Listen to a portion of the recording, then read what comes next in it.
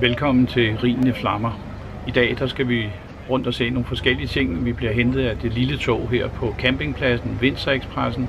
Så skal vi køre en tur gennem vinmarkerne, hvor vi skal op og have et stop oppe ved klosteret, der ligger op mod toppen af vinmarkerne.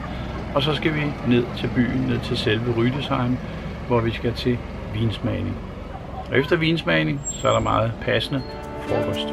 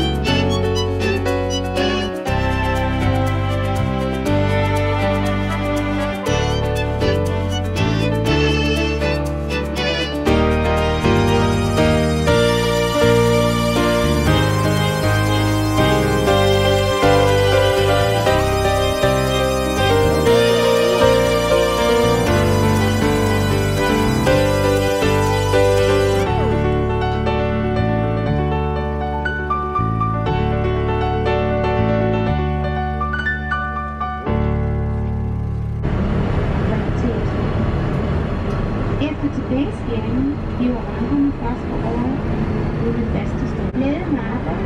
Ønsker tak